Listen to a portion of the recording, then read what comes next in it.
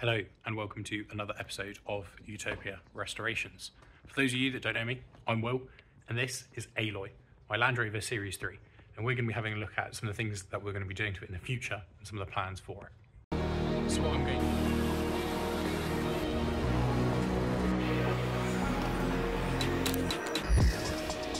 Oh, isn't she pretty? This was something quite cool. I managed to find the original grill.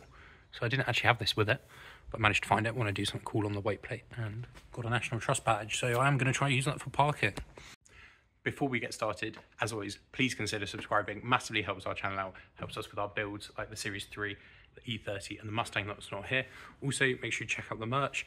It's not just our logo on things. We spent hours designing these and we've got loads of drops and loads of new things coming out. So make sure you check that out down below. If you are enjoying the video, drop a like, drop a comment. What do you think? What should I be doing? Is this correct or is this completely wrong? Yeah, enjoy the video.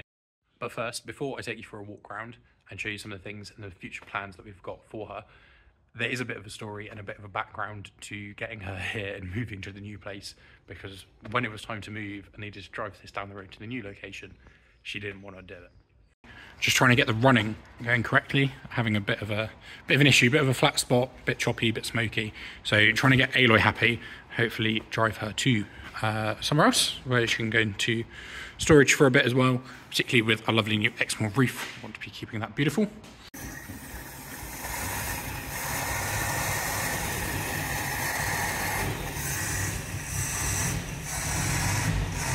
So as you can see in here, she's not running well, she's not happy. This was actually a second car that I used, and as you can see here in Christmas, I decided to treat her to a brand new Weber.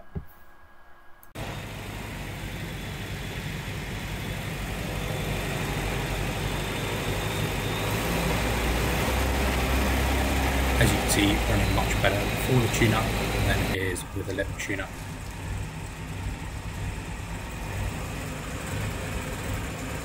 As you've just seen, we've now got the lovely new Weber carb in and the brand new Lucas batteries, which are making a difference. Fully disconnect them every time. So she is a little happier. Still a little choppy. So there are some things I do want to do. I do want to check the tolerances on the valves and things like that. Make sure it's okay.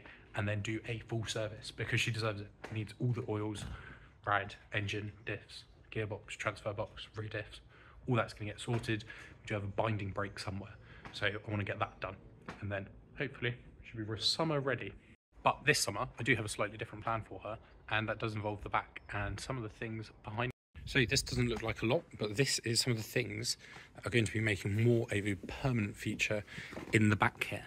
So as you can see, I've got a bench here. These some of this stuff needs to be moved out for me to give you a bit of a better explanation. But I'm thinking not like camper vibes, but like expedition day camper lanes and lunching, if that makes sense. So, all very well being said, but what do I actually mean? So, here's a bit of a picture of the back of the Land Rover, and I'm just going to show you what I mean and what I actually want to do. So, on let's go for some yellow. On this side, what I'm thinking is following the contour line, I'm going to do a bit of like a shelf. It's going to come out about this height, be a table that's going to go to the front end and to the back Similar, you'll see a lot of this in camper conversions that people do. But what I am thinking is because you've got this window here, you can then roll it up and use it from both sides. So this will sort of be ply, then an open-ended front, if that makes any sense, with bungee cords across it. We'll just have to bear with the drawing for one second. Then on this side, as you saw in the back there, there is a bench that is going to be going in. We're going for a bench power here. And it sort of reminds me of like Art Attack or something. Mm-hmm. Drawing as they're doing it. So bench is going to go in here, but then behind it, and I'm thinking maybe a small storage section, just something little and easy, just for it to fit in. So, and then also going to be reupholstering this. So you're making that like some cool colour, and this is going to be the wood that's going to go behind in that area there.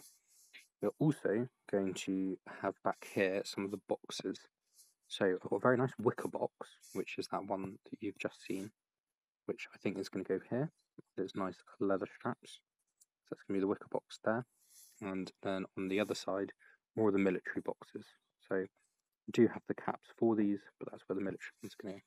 That makes any sense. I'll show you a better picture. As promised, here's the best picture with the best design. You could never tell that I did graphics GCSE, but you can see sort of new fairy lights going to be going in, some of the boxes, and a bit of a vague idea.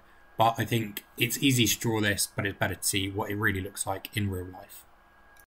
And if you haven't seen before, this is our beautiful Exmoor trim fitted for radio canvas. Here you go, all the military extras in khaki, which is slightly different colour to the last canvas, but it's definitely the original.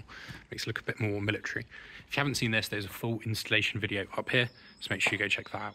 So now that all those random extras are out, I am going to give it a bit of a clean and tidy up, because as you can see, there's a bit of rubbish from where she's been sat with the old roof.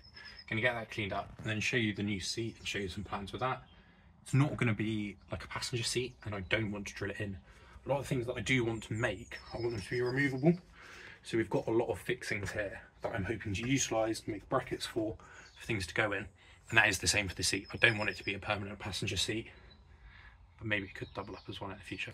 I don't know, I'm not really willing to drill into it, but equally if it happens to line up some holes, I may utilise that. First, let's give it a bit of a clean.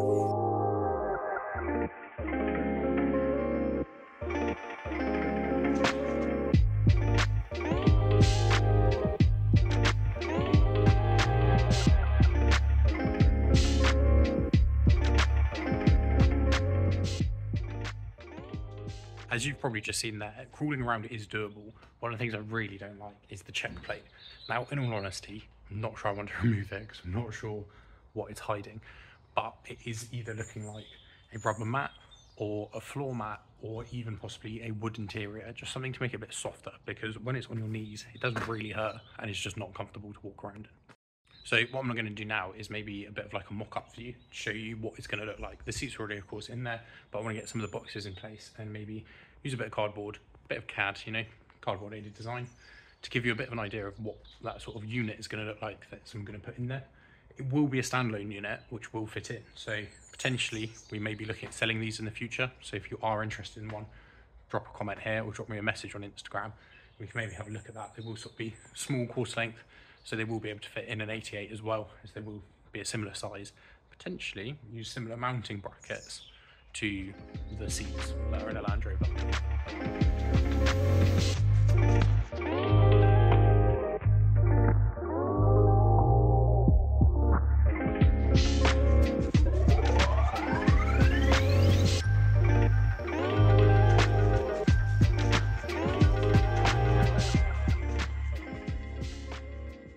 So here you go. Hope you enjoyed that cardboard aided design video.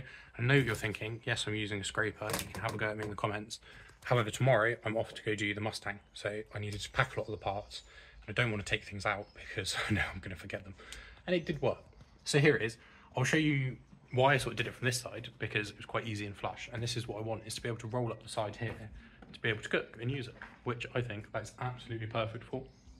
Someone can sit inside and you can have a chat with them what you need to go have a look at is from the inside angle, from there, see what it looks like and where we're going to put maybe some holes with the bungees going across.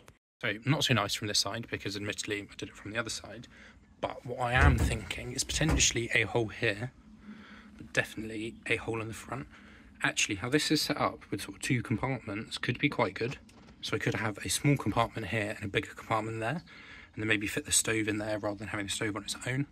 But I am actually quite happy with that size and shape. And from this side, although you're not going to be able to cook on it from here, I can actually still reach it sat down. So I think that's fabulous. Yes, don't get me wrong, doesn't look fabulous and this will not be the final template.